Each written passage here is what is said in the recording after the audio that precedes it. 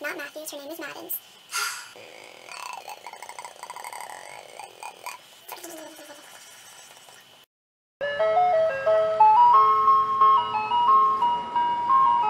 It's Jay and I am here today with a review of The Girl in 6E by A.R. Torre. I recently read this book. I gave it a 4.5 stars out of 5 on Goodreads. I loved it. It was really good, super thrilling, so I thought I would tell you my thoughts on it. So as per usual, I'm going to give a synopsis of the book and then I will talk about what I did and didn't like, characters, all that jazz, and then my overall thoughts of the book.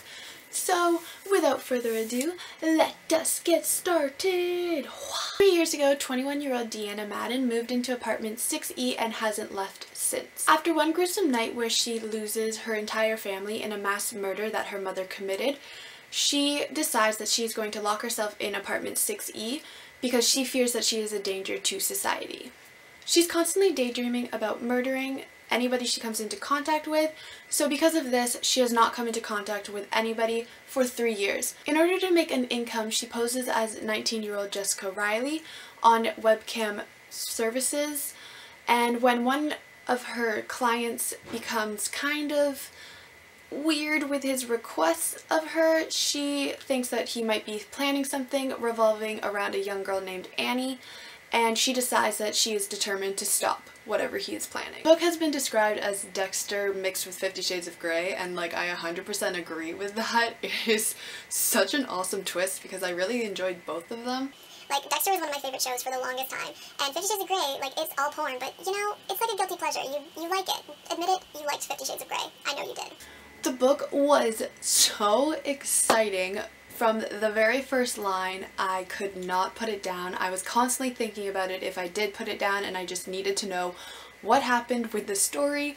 I could not get enough of it. The plot was so unique and different from what I have read before. It was like an erotic thriller kind of thing and it was just really interesting to read. I instantly fell in love with the characters. They were all really complex and I just really liked how they were written. The book was both intense and touching all wrapped into one. It You wouldn't think it would be based on like the genre and what the story was about, but it was just so good. I loved Deanna as the main character. She was so funny and sarcastic, which is what I like in main characters. I know a lot of people probably find her annoying, because of how sarcastic she is, but I love that in characters. It's really interesting reading through Deanna's point of view and her constant struggle with trying to keep the evil inside of her at bay because she knew that she was like a serial killer and that she was dangerous and a lot of other people kind of justify their serial killerness. Like Dexter was like, oh, I'm doing a good thing because I'm taking out the bad guys, but Deanna was like, no, killing is wrong, so I'm not going to do it. And it was just really interesting to read from her perspective. I really liked it.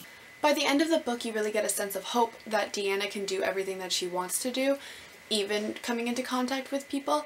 And it's just really nice to see how her character developed from being so scared to go outside to being able to, you know, live her life the way she wishes she can. I did drop half a star. I would have rated it 5 out of 5 stars, but there was so much sex scenes and I understand that that's her job. She is a cam girl and obviously there's going to be a bunch of sex scenes.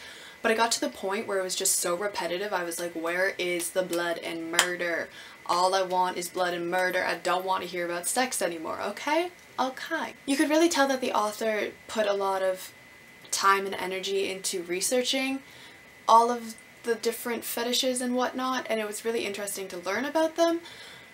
But there's just a lot of them. There's a lot of fetishes out there, people. A lot. And some of them are really creepy. The story is told in multiple point of views, and I think the author did a really good job with it.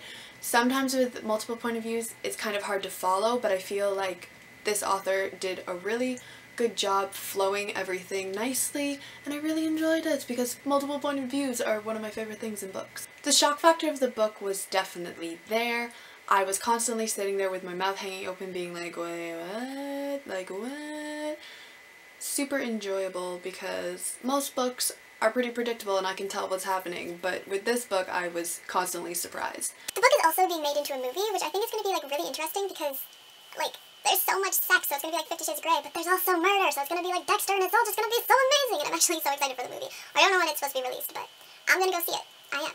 I definitely recommend going into the book blind. So this review probably didn't help you because I probably told you too much than I should have. But I went into the book knowing nothing, like absolutely nothing. So I think it shocked me more than if I did know something. So try to go into the book blind. I'm sorry that I'm telling you this at the end of the review. But this was my first AR Torre book. I'm definitely going to pick up the sequel.